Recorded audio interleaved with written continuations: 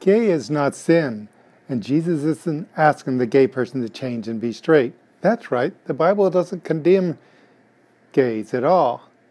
Hey, are you ready? We're close to the last days, and things in our, in our life is going to change. Of course, we've been saying this for a long time, but the more we read, the more we find out it's really getting close. So, are you ready? There's a real good way to get ready is just to get to know Jesus Christ. He came to die on the cross for your sins. So, here's a little prayer you can pray to get to know Jesus Christ. Say, God, I believe you sent your Son, that you gave your only begotten Son to die on the cross to pay the price for my sin. Forgive me of my sins and come to my life. That short little prayer, or one similar to it, you just have to believe that Jesus came to earth, he became a man, and he died on the cross and paid the price for your sin. And then he rose on the third day. Then you got to get to know Jesus by reading the Bible, the King James Bible. And when you read the Bible, you get to know Jesus and you learn about him. And things are happening in the world. The, the life as we know it is going to be changing. And we see this more or less each day to different degrees, getting that the long term things that we really do our research and studying what the world is doing in different countries and so forth. And uh, the what people call chatter, like you're hearing things to see if uh, our enemies are talking about something to do to us or something. Well, there is also the chatter of, on the end days. And you can see it as the decades go by, year by year by year, how the chatter is increasing till now, where it seemed like 2015, how could you get worse than that? Well, 2016 apparently is going to be worse than that. A lot of stuff's got to be done, so no matter what we say in the, to prepare yourselves for a shaking, because the world as we know it is going to change. God has His own time schedule, and because we might say something's going to happen soon, doesn't mean it's going to be happening tomorrow or the next day or a month from now or a year from now. There's a lot of things that still need to be done, and, and God is the one that's getting things ready. And so you need to just, for yourself, be ready and, and do your research and study and read the Bible, and then look what people are saying that has the credentials that of their research abilities of searching out the world to see what's happening. And so these really exciting times are coming uh, in many ways. And some of it is going to be pretty disastrous. And some of it seems end about how could anybody survive? And yes, it's got to be something like that because out of the 7 billion population, 6 billion has to be dead before Jesus returns and puts his foot on the Mount of Olives and six billion people being killed, that's an awful lot of them. And we hear an awful lot about Christians won't have to go through that. If you accept Jesus, then the rapture will happen before the tribulation, and so you'll miss it all.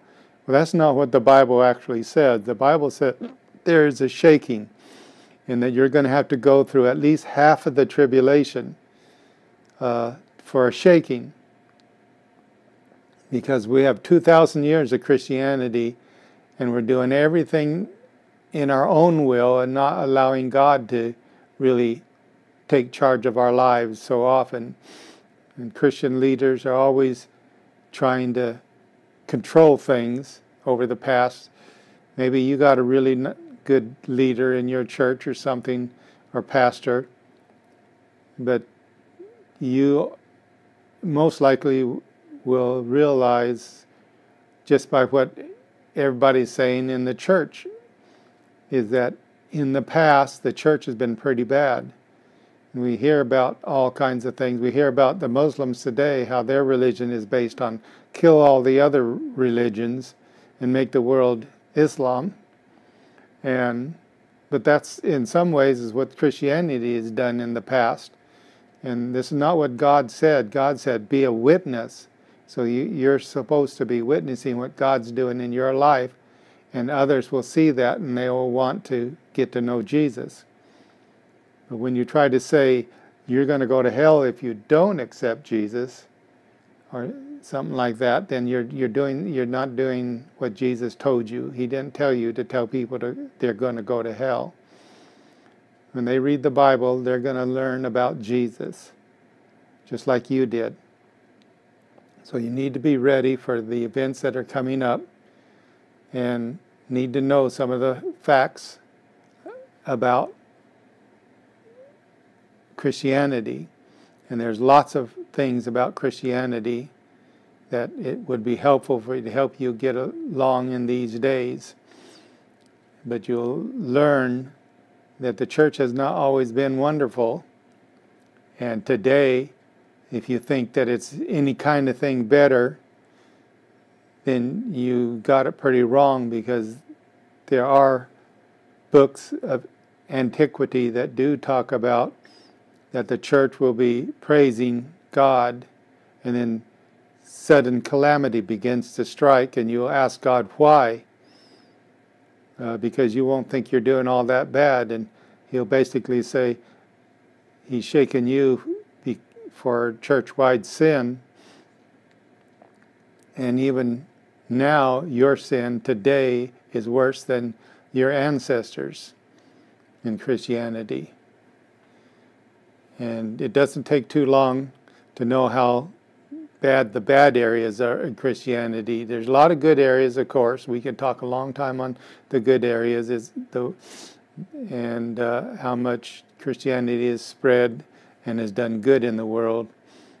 Uh, and there's lots of things that's good in your life that you're walking in the Lord and everything, and that's just wonderful. However, there's things that you just don't understand that are pretty severe and it's your condemnation of others is often the case. There has been so many people that have been persecuted by the church, by the church.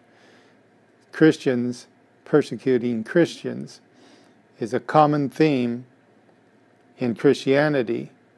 And today it's no worse than that. We got a bulk of Christianity that thinks they're the only ones that are going to be saved, and any other type of Christian can't be saved. You got like the red list, the red state Christians and the blue state Christians, and the red state Christians don't think the blue state Christians are actually saved. In the red state Christian, we could pretty much trace all the background to below the Mason Dixie line in the United States, which uh, originally was where the when we were back in the slave days. And we can see that throughout history, the kind of people that holds the, the philosophies of that, what is now today just simply called the red states, which is based back as far back as in the early stages of America, how the South and the North became enemies and we had the Civil War. And but that South, the thing is, when you look through the history, even to present day, is they've evolved into what we call red states, and some of those red states has come northward a little bit. But the history is always has a basis in bigotry and hatred of others and pointing fingers and condemning and, and wanting to make laws to that they think is would please God or something, and there is a good chance that we that there are people that say that there's works to try to legislate the gospel, and there's always been this phase or element of society that thinks that if, if, we can only legislate the gospel, but Jesus never said that. The governments are already on his shoulders. And so we get people that are otherwise pretty good prophecy teachers and everything, but then when they come up, they try to say, what's kind of, we're going downhill today. And one of the things that they're always in their list of saying that America's going downhill is they're saying that now all 50 states have gay marriage. So this is so against uh, God's law that this is why the United States is going downhill.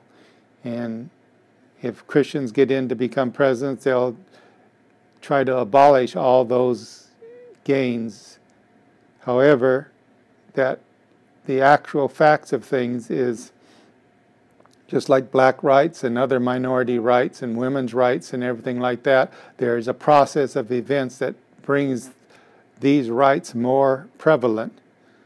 And so when you follow the gay rights movement, it's very similar. They had to work long and hard. This just didn't happen overnight. You didn't get all 50 states to be same sex marriage at the snap of a finger. There's been so many court cases, and if you follow those court cases, you'll find out that the red state side of the debate, the that anti-gay participants in court cases, they just want to say it's in the Bible, and that's about all the fact that they'll give. They say God hates it, so we shouldn't make it legal and they don't give very good arguments. While on the other side of it, the pro gay side, you have tons and tons of facts coming in. You have doctors and therapists and psychologists and all these kind of things and research and, and of actual behaviors of people and to show that there's the legitimacy of gay people. And you have the opposite on the other side, where the red state side, anti gay side, want to just simply flat out condemn them. They just simply hate gays, period. They need to be all, they're going to all go to hell, period. God hates them. That's about the farthest stand when you summarize all what the red states mean to gays. That's what they mean, is they just simply want to say gays are going to hell because God hates it. But when you actually get the Bible out and you start studying the scriptures that are used, there's about 14 verses that are more or less used. Well, seven of those use word seven of those verses uses the word sodomite, and somehow or another the church has gotten to believe sodomite believes is another word for homosexual, when this is not what the word means. You could do good research on the word sodomite, and you can find out how now that red states are calling sodomite as another word for homosexual. It was basically 700 years, a little bit more than that ago, that the Catholics had, there's a few powerful leaders there that decided they need to make some sort of a doctrine that they can get people purged out of power. And this is known today as the anti gay doctrine. They found some verses that they can manipulate around and make into a doctrine so that when a leader comes up and they don't agree completely a lot with those powerful leading Catholics, then they can point the finger and says, "You're gay, so now we can purge you out of power and put somebody else in that agrees with us." And this is followed throughout history. We can find that once that doctrine 700 years ago was established in Catholicism, it took about 100 years before it actually was adopted by, by Protestants. And then when America was founded and the first Christians came over here, they're the kind of Christians you would never accept today, period, flat out the, the Puritans are a type of people that you would absolutely run out of town if they had any say over you because of their strict beliefs and everything. And they brought an especially heinous version of the anti gay doctrine to the United States. And that's why the United States has had such a struggle with, with accepting gays, is because they are so indoctrinated by this group of people that to, today there's no church at all hardly uh, would accept their teachings because it restricts your entire life just about. And we have other groups, you know, Quakers and stuff like that, that might be somewhat similar. But again, there's so much you need to know that the, about why you think gay is sin.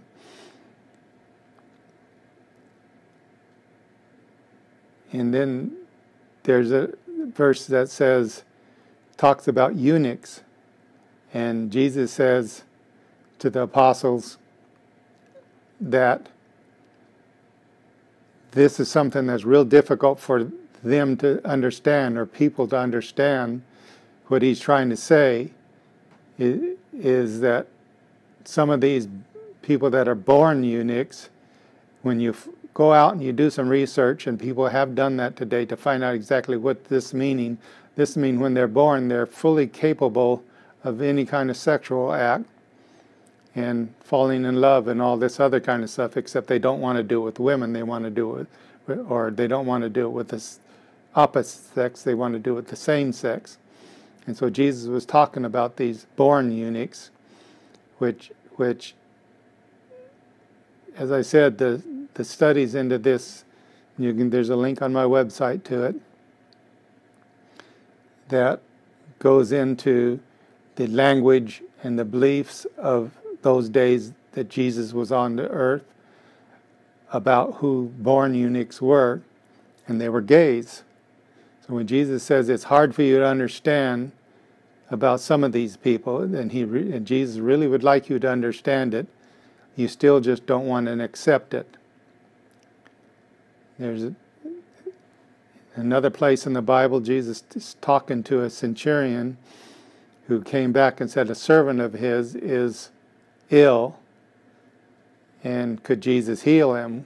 Well, the sentence and the words in Greek used says that in that kind of a setting, in, and what's considered a wife as it was in those days, this is the kind of ways you would talk about your wife that you're married or you or you and you love this person and this is how the centurion was using phrases and sentences to describe to Jesus of his servant back home. And Jesus said yes he will heal his servant.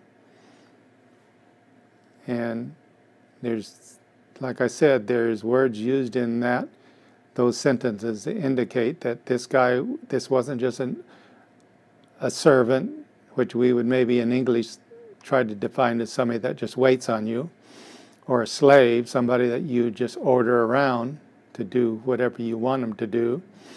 But this is, in fact, somebody that he dearly loves and is living with as a married couple. And you have other scriptures in the Old Testament that talks about how Jonathan and David had a contractual marriage, the way that Paul spoke in uh, the sentence of those, the way that it was used in the Hebrew language indicates the type of relationship is a legal, documented marriage that David had with Jonathan.